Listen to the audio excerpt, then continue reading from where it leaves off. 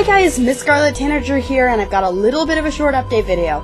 We are going to be doing a 24-hour charity stream this Sunday, the 30, 31st. The 31st. At 9 a.m. Pacific Standard Time, we're going to start Skyrim, and at 9 a.m. on June 1st, we're going to finish Skyrim. Yes, guys, that's 24 hours of Skyrim. So y'all should check it out and donate to charity. The charity is going to be St. Jude's. I'm part of the I think it's called the Little Miracle Workers team that has a whole bunch of other YouTubers on it. I just joined it because you can.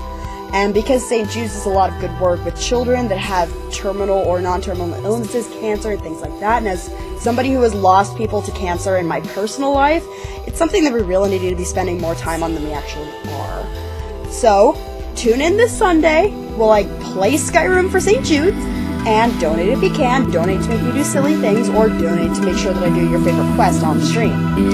So, my name is Miss Scarlet Tanager, and I'll see you guys on Sunday.